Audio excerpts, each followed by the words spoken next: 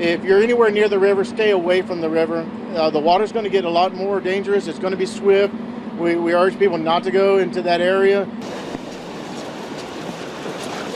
If you know that your area typically floods, do whatever you normally do uh, and evacuate appropriately from that particular area. If you know that you normally get water in this area, it'd be, it'd be good to do it before uh, it becomes too late.